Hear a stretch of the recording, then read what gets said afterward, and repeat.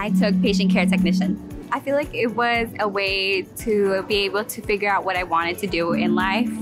Uh, just a little like kickstart, little, you know, just to figure out if I really wanted to go into the healthcare field or not. My plans for graduation, right after here, I'm going to Hillsborough Community College for uh, my AS in nursing. I chose patient care technician because I'm following in my family's footsteps in the nursing career.